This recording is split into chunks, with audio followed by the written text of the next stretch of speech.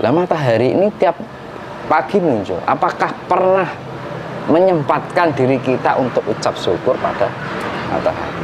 Coba kalau nggak ada matahari, kita bisa itu. Beliau-beliau ini mewakili Tuhan yang sifatnya makro. Karena mikro itu Tuhan yang ada di dalam diri kita. Unsur air, unsur tanah, unsur api, unsur angin di dalam diri kita itu ya alam yang sifatnya mikro yang menunggal di dalam diri kita. Diri kita pun tercipta dari empat unsur alam, lima anasir semesta. Iya toh? Raga terbentuk dari air, tanah, angin, api, dan cahaya atau jiwa dari manis dulu papat limo pancer ya kan kita sedekah dengan tumbuhan kadang makanya kalau leluhur ada pohon besar itu sangat dihargai dihormati kalau di Bali di belasung sama kain poleng kain kotak-kotak hitam putih itu penghormatan. Karena apa? Kita tiap hari menghirup oksigen. Oksigen dihasilkan dari apa kalau nggak dari pohon? Gitu Iya. kita melakukan penghormatan pada air. Dan ternyata kita butuh air tiap hari. Gitu coba satu hari nggak minum aja kita bisa merasakan apa gitu kan. Ya kan? Kehausan. Ya ternyata kita butuh air. Udara yang kita tiap hari nafas tiap detik ya. Dia nafas terus. Keluar masuk. Ini kan Tuhan yang keluar masuk. Tuhan melalui perwujudan angin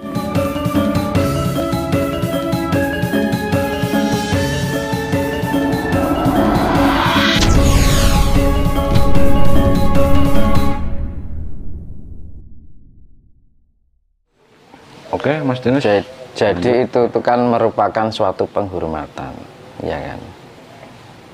Kita men, eh, kayak batu, tumbuhan, itu kan leluhur, ya kan?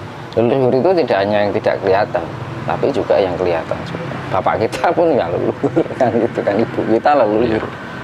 Semua yang mengawali sebelum kita itu kan namanya leluhur. Tetapi arti leluhur itu kan yang dimuliakan. Leluhur kan artinya kan mulia. Kita harus memuliakan para beliau. Karena apa? Kita tanpa ada bebatuan, tanpa tanah, kita sedekah namanya ke samudra, laut, ke air sungai, ke patirtan atau namanya mata air. Itu kan selalu diberikan suatu penghormatan. Gitu jadi mengucapkan suatu persembahan. Gitu. Yang namanya persembahan itu kan kita mewujudkan rasa terima kasih. Jadi ini hanya sekedar penghormatan ya, iya bukan penghormatan. menyembah. ucap syukur. Karena apa? Kita tanpa batu tanpa pohon apakah kita bisa hidup? Nggak bisa. Beliau-beliau batu dan pohon itu mewakili Tuhan gitu. Dan mereka adalah bagian kelengkapan agar tercipta kehidupan. Tanpa batu tanpa tanah tanpa air tanpa api. Apa pernah kita bisa hidup? Contohnya kita tiap hari. Namanya tiap harian hari kan disebut tiap hari kan. Matahari. Maka terciptalah hari. Lah matahari ini tiap pagi muncul. Apakah pernah menyempatkan diri kita untuk ucap syukur pada matahari coba kalau nggak ada matahari kita bisa itu beliau-beliau ini mewakili Tuhan yang sifatnya makro karena mikro itu Tuhan yang ada di dalam diri kita unsur air, unsur tanah, unsur api, unsur angin di dalam diri kita itu ya alam yang sifatnya mikro yang menunggal di dalam diri kita. Diri kita pun tercipta dari empat unsur alam, lima anasir semesta. Iya toh? Raga terbentuk dari air, tanah, angin, api, dan cahaya atau jiwa dari manis dulu papat limo pancer. Ya kan? Kita sedekah dengan tumbuhan. Kadang makanya kalau leluhur ada pohon besar itu sangat dihargai dihormati. Kalau di Bali di belasung sama kain poleng kain kotak-kotak hitam putih itu penghormatan. Karena apa kita tiap hari menghirup oksigen. Oksigen dihasilkan dari apa kalau nggak dari pohon? Gitu Iya. kita melakukan penghormatan pada air. Dan ternyata kita butuh air tiap hari. Gitu coba satu hari nggak minum aja kita bisa merasakan apa gitu kan? Iya kan? Kehausan ya. Ternyata kita butuh air. Udara yang kita tiap hari nafas tiap detik. Ya, ya nafas terus. Keluar masuk. Ini kan Tuhan yang keluar masuk. Tuhan melalui perwujudan angin. Tanah tiap hari kita menginjak. Kalau nggak ada tanah kita mau hidup di mana? Tuhan kan memberikan perantara. Gitu itu mewakili Tuhan. Di mana? Di situ memberikan kehidupan. Di situlah Karena alam semesta ini sebenarnya alam apa manifestasi sebenarnya Iya, daripada itu kan Tuhan. Gusti. Engkang Katon. Itu kan perwujudan kita semua ini Tuhan. Gitu kan. Tetapi akhirnya manusia melewati batas, merasa menjadi Tuhan. Nah, ya, Merasa paling benar sendiri. menguasai. Akhirnya bumi ini dikuasai oleh manusia. Makanya suatu ketika ada hal yang sangat besar ini yang menjadi dampak mahapraya itu adalah orang-orang yang merasa dirinya seperti Tuhan. Merasa memiliki, merasa kuasa, ya kan? Jabatan jadi ukuran, materi jadi ukuran. Ya. Padahal itu kan hanya pelengkap saja. Ya kan? Oke. Menarik ini, iya. Ya rasa kepemilikan kan itu. Nah, ini berarti kita itu memang sekarang ini membutuhkan eh, kebangkitan eh, biar kita sadar. Ayo kita sadar, kita bangun jiwa kita, raga kita eh, agar kita menjadi bangsa yang istilahnya maju. Nggak nggak bisa apa ya? Masa kita masih tetap terjajah, dibodoh-bodohin sama mereka gitu kan. Makanya dibilang arti kata sadar itu kan biar tidak lupa. Gitu. Sadar kan bahasa persamaan ini kan tidak lupa. Tidak lupa. Eling nek wong Jawa ngarani kan. Lah, artinya kan kita harus eling dari itu semua. Kita eling, kita itu hidup tiap hari menginjak tanah. Tiap hari minum air, tiap hari menghirup udara, tiap hari membutuhkan api untuk cahaya, untuk memasak. Saya kini sedino ora ono kompor, gitu lagi kehilangan gas bingung. Ya artinya kita butuh api dan pernah nggak kita ada rasa ucapan syukur. Lu kita kita sedekah pada air misalkan. Ini kita nyembah Tuhan melalui perantara air. Kalau misalnya ada yang mengatakan bahwa itu sesat, Nah, musyrik, itu jadi kan karena kan banyak orang mengatakan kok eh, alasan mereka kan kenapa kok tidak menyembah Tuhan langsung, kenapa kok harus melalui batu atau air atau pohon gitu? Nah, sekarang gini, Pak. Tuhan memberikan manifestasinya melalui ini. Nah, dari ini aja belum bisa mau kok ke sini. Eh, Mana bisa gitu kan. Kesadarannya itu loh, ya kan? Kesadaran terhadap air, kesadaran terhadap api. Mereka angin. langsung loncat ke atas. Nah, itu. Nah, sekarang dari ini aja lupa apalagi ke sini. Zaman sekarang kan orang pengennya jalan pintas. Jadi Iya. suatu apa ya hal yang omong kosong kalau mereka mengklaim bahwa mereka Iya. itu dekat dengan Tuhan tapi istilahnya tidak menghormati alam semesta ini. Lah iya, gitu. Eh lucu kan. Oh. Dan jenengan nek pengen ketemu presiden, kalau nggak ketemu stafnya dulu kan nggak bisa. Apa langsung harus ketemu presiden nggak iso. Iya kan? Kita Tapi mereka menganggap itu apa ya? Memang jalannya kayak itu harusnya. Kenapa kok enggak langsung aja? Kenapa harus Iya, ada kalau kita mempelajari Iya. namanya inner inner work ya kan. Kita berka- ber- bekerja untuk lebih ke dalam. Kita membangunkan. Oh ternyata aku gaweane sekolah lemah. Oh ternyata aku gaweane sekolah banyu. Oke. Dirian hidupku juga butuh air tiap hari. Butuh angin tiap hari. Nah itu kesadaran. Kesadaran. Iya. Sadar, aku ki sadar. Nah, aku ki dino ngombe banyu putih. Nah, ngombe kopi butuh banyu. Nek kopi tok ya ora iso bisa tangan. Tapi, mungkin eh, Mas Denus bisa ngasih tips pada kita yang masih istilahnya awam untuk menjaga kesadaran dalam 24 jam itu kan ya sulit ya. Iya. Mungkin punya tips gimana kita mengawalinya Jadi harus kayak gini, apa gitu.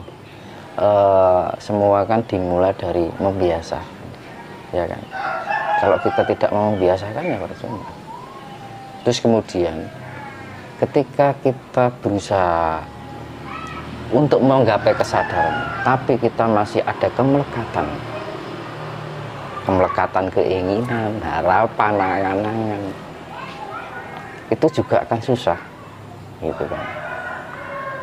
Jadi itu yang akan membatasi manusia untuk menggapai Tuhan. Iya kan? Mm, mm, mm, rasa ketak akhirnya timbul rasa ketakutan kekhawatiran tentang kehidupannya. Harus mempunyai keinginan. Gitu. Karena apa? Dunia ini kan hancur gara-gara keinginan-keinginan manusia yang tidak terbatas atau tidak dibatasi. Makanya kan eh, para yang terbangkitkan itu paling susah ketika tidak terbawa kemelekatan. Itu yang paling susah. Karena apa? Dasar kemelekatan itu kan memang sangat apa ya zaman sekarang itu wis kadung melekat banget ketika orang belajar kesadaran orang belajar spiritual tapi masih belum masih Bisa ada kemelekatan. Ah, berarti kan masih ronglos gitu kan? Belum sepenuhnya dalam menjalani itu. Kemelekatan bukan berarti kita meninggalkan. Tetapi artinya kita tidak apa ketergantungan pada sesuatu yang kayak kayak nah itu kan kekhawatiran akhirnya kan timbul kekhawatiran nanti kalau aku nggak memiliki ini nanti nggak bisa ini nggak bisa itu gitu nah makanya kan untuk menjadi eh, namanya zaman dulu kan pendarmaan diri atau pengabdian kita kan. Untuk menemukan Tuhan kan perlu pengabdian sepenuhnya. Diri kita untuk diri kita sendiri, sesama kita, untuk alam semesta. Apakah kita sudah siap untuk mencapai itu? Orang pandangannya gampang, apalagi zaman sekarang pengennya instan. Untuk mencapai itu kan nggak mudah. Ya kan?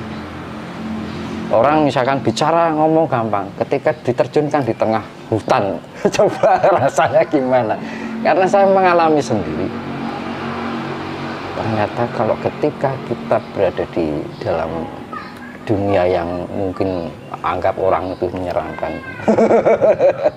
Ini gini radi kayak opo-opo ini. Tapi kita mental kita nih yang makanya kan spiritualitas itu membangunkan mental. Makanya orang-orang terbangkitkan yang pertama dibentur adalah mental bentur keadaan contohnya kejadian covid kemarin orang nggak tidak bisa berkutik apa-apa. Mau nggak mau akhirnya mereka. Makanya di kejadian covid itu banyak orang yang terbangunkan terbangkitkan awak kening. Mulai timbul kesadaran. Yang awalnya dulu pengusaha sampai jatuh gitu akhirnya lari ke ini lari ke situ cari pertolongan. Akhirnya diarahkan ke sesuatu. Yang mengarahkan pada hal yang sifatnya keluhuran nah, itu bagian dari sentuhan alam Tapi sebenarnya kalau kita mencermati itu ada pola tertentu yang istilahnya Tuhan itu memang membuat suatu kejadian yang sepertinya Iya. bencana yang tidak mengenakan atau mungkin dalam untuk jagat mikro kita kita dikasih mungkin kebangkrutan ekonomi Iya. jatuh miskin itu nanti untuk suatu apa ya poweling biar ingat biar bangkit Biar biar, sadar. ingat sadar Iya, eling. untuk bisa menuju ke Tuhannya Mm-mm. Terus eh, kalau merujuk dari itu, apakah memang harus lewat itu? Kenapa kok kita tidak bisa istilahnya menggapai kesadaran itu tanpa melewati rasa-rasa kepahitan tadi, hal-hal yang istilahnya buruk tadi? karena berat di pada kemelekatan itu tadi Pak. Oh, Beratnya kan masih terlena di kenya- kenyamanan, zona Iya, nyaman berarti iya, ya. kemelekatan itu tadi. Misalkan ya, orang dulu makan jagung makan nasi tiwul biasa orang sekarang ngeramangan sego enak Ah. ini contohnya itu saneponya gitu lah analoginya seperti itu pak ya kan nah itu bagian dari sebuah kemelekatan ketergantungan pada itu. Padahal duniawi ini hanya sebuah pelengkap gitu kan. Nah ini pengaruhnya juga dari glo- globalisasi. Mendunia. Perekonomian dunia akhirnya mengubah mindset manusia sedunia akhirnya mau nggak mau. Gitu. Kemudian di apalagi banyak perbankan yang memberikan utang piutang semakin orang terjerat. Gitu nah. Bukan bukan istilahnya membantu perekonomian ya? Iya kan akhirnya mereka kan punya slogan kayak sepertinya mereka membantu usaha memberi modal. Tapi ternyata pada kenyataannya kan memang banyak yang istilahnya ya akhirnya kan terjerat. iming-iming belaka kan akhirnya terjerat juga. Akhirnya apa? Larinya ke kesehatan pikiran ya kan? Kehancuran keluarga. Banyak faktor keluarga keluarga yang hancur gara-gara ekonomi Iya. Ya kan Tapi waktu jatuh nanti Itu akhirnya dampaknya seperti iya, itu. nanti akhirnya sadar sadar ketika dia sudah jatuh dia akhirnya mencari istilahnya uh, Pernah pencerahan pencerahan tadi. ya makanya kan itu bagian dari peringatan dari alam sebenarnya makanya kan perlunya persiapkan diri sebelum terjadi mahapralaya itu tadi semua kan angkara murka akan di Iya. Sebenarnya kalau dilihat itu Tuhan itu bisa ada dua opsi juga. Eh, dengan istilahnya keterpaksaan atau dengan kerelaan. Sebenarnya mereka-mereka yang istilahnya akhirnya bangkit dari keterpurukan itu kan dari memang digencet dulu, terpaksa dia. Eh, terus yang terkait tadi Mas Dinus eh, jelaskan tentang sedulur papat limo pancer yang pancernya itu kesadaran iya. Ya pancernya itu manifestasi Tuhan. Manifestasi dari cahaya Tuhan, Tuhannya ya. sifatnya lah kekal. Sebelum mencapai situ kan kita harus bisa paling tidak mengendalikan yang empat itu ya. Selawi selawi selawi nah selawi selawi selawi selawi ya. ibarat empat unsur ini dijatuhkan jadi 100% ini kudu selawi selawi selawi selawi nah kalau pejalan yang awam ini yang masih baru ingin memulai Nah, nah, kita startingnya mulainya kayak apa itu untuk mencapai itu? Ya karena kan makanya gini kan kita hidup ini kan rata-rata orang sekarang hanya duniawi terus 24 jam. Tapi kita tidak pernah meluangkan waktu untuk diam sejenak. Melakukan perenungan atau henung lalu perenungan. Meditation kita berdekatan dengan alam dengan diri kita. Kita ada ada hubungan istilahnya sering-sering berkomunikasi dengan yang menghidupi kita melalui melalui alam itu tadi. Gitu? Kalau kita tidak bisa membiasakan itu kan kita hidup kan dari alam. Berarti kan artinya kita harus ada kedekatan dengan alam. Gitu? Kalau kita nggak ada kedekatan dengan alam ya bagaimana kita bisa menentukan itu? Jadi termasuk indikator juga seseorang itu eh, bisa dikatakan dekat dengan Tuhan kalau dia dekat dengan alam. Iya. Rasa welas asihnya ada. Sikap Oke, kerendahan siap. hatinya ada. Kebijaksanaannya pasti juga mencukupi. Gitu. Mm, mm, mm. Tidak mempunyai jiwa yang anarki. Oke, ya gini, ini mumpung saya teringat sekarang kan bulan Suro. Iya. Nah, sebagai seorang praktisi spiritual yang mendalami keilmuan Jawa khususnya ini, saya ingin minta istilahnya versinya Mas Tinus itu apa dalam memahami bulan Suro itu. Karena kan sebagian orang Jawa itu meyakini bahwa bulan Suro itu bulan yang sangat sakral. Sehingga mau punya hajatan aja, mau mantu aja mereka tidak berani karena mungkin takut akan ada musibah atau apa. Mungkin kalau versinya Mas Tinus mungkin bisa dijelaskan bulan Suro itu apa? Ya kalau versinya orang Jawa itu kan ibaratnya kalau bulan suro itu energi-energi sakral yang sifatnya astral itu lagi muncak-muncaknya. Nek wong orang Jawa bilang ini leluhur pada podo istilahnya gerakat ini gampang kan gitu kan tetapi kalau secara energi energi astral itu kan lagi hack jadi saat kondisi seperti itu kita harus healing. Harus bisa mengendalikan diri kita. Contohnya misalkan bulan suruh kok mesti sama kejadian lalu lalang kalau kita nggak fokus nggak apa namanya feeling dalam diri kita jiwa kita mental kita. Misalkan kita naik kendaraan itu karena energi astral lagi kenceng kan. Blank. Alamu akhirnya naik kendaraan gak fokus emosional yang keluar. Emosional jiwa bukan emosi marah itu bukan. Emosi kan macam banyak macam iya. nah itu emosional akhirnya blank. Nah gagal fokus akhirnya terjadi benturan. Ya kayak magnet itu pak. Energi kan pasti membawakan energi magnet. Di situ ada energi semakin tingginya energi energi magnet semakin banyak. Sama aja mas gerakan dinamo magnet semakin tinggi daya listrik pun juga semakin besar. Ya kan? Itu kan ilmu uh, elek elektro atau ilmu listrik itu kelistrikan itu kan sama di dalam diri kita ada unsur kelistrikan elektromagnetika. Mm -hmm. semakin besar energi kita yang kita uh, ciptakan maka